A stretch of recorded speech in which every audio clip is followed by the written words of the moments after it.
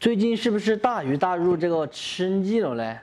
特别需要一道开胃爽口的菜。今天这道菜就厉害了，下稀饭、下干饭随便你。主要食材有青椒、红椒、黄瓜、洋葱，不喜欢吃的都可以不放。先把它们全部都切成细丝。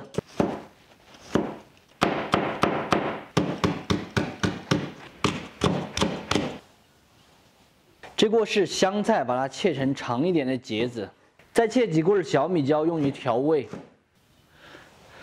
准备一个大点的盆盆调味盐、谷氨酸钠、白糖、酱油、香醋、辣鲜露、香油，香油会稍微多一点点，花椒油，然后下入刚才切好的这些蔬菜。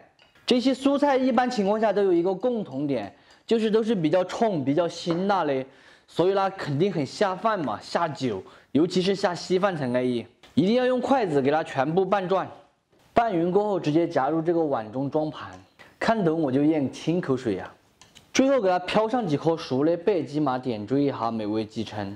非常美味的一道老虎菜就做好了。这个做法可以说得上是新手也能轻松上路。喜欢的点赞，不喜欢的免费看完就解散。这道菜呀，春节期间大家一定要去告一下。绝对比你桌子上面的很多鱼呀、肉啊都更先吃完。说了那么多，我还是先帮你们尝一下这个味道怎么样。嗯，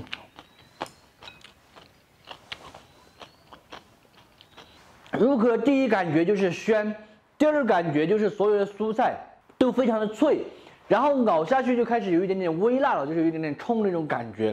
我觉得还是非常的不错啊。